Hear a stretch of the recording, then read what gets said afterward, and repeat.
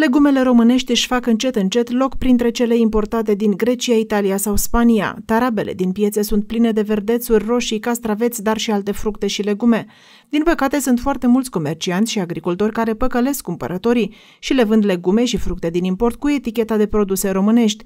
Potrivit reglementărilor legale, fiecare producător trebuie să obțină anumite avize de la primăria de care aparține.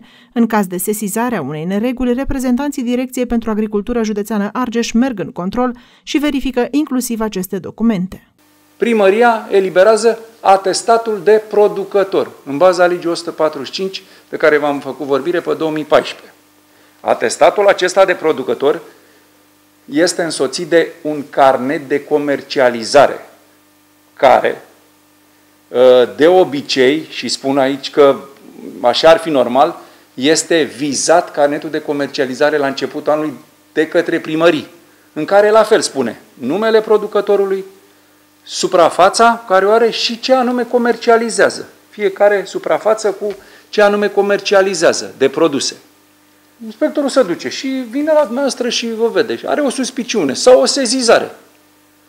El atunci are posibilitatea să se ducă la piața respectivă sau chiar acasă la producător să vadă dacă ăsta e adevărul.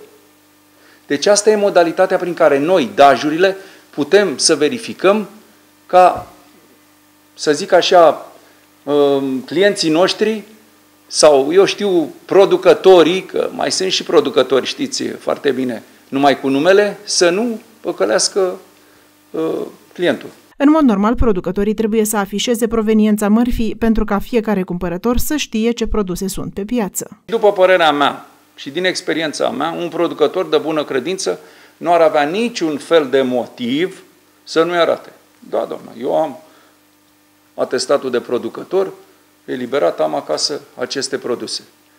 Dar pot să vă spun că la un moment dat poate să și refuze.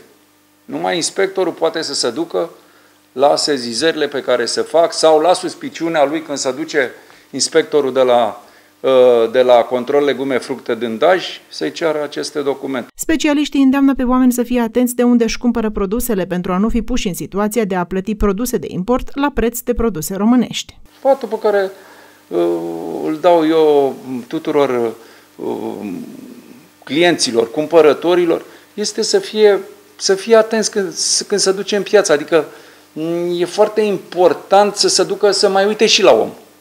Zic eu așa. Și aici fiecare înțelege, da, de la cine cumpără. Că avem producători care sunt de foarte bună credință și avem și alți producători care mai punem și ghilimele la ei. În anul 2020, Direcția pentru Agricultură Județeană Argeș a aplicat foarte multe sancțiuni producătorilor care nu au putut dovedi cu acte activitatea desfășurată. Totalul amenzilor aplicate a depășit 150.000 de lei.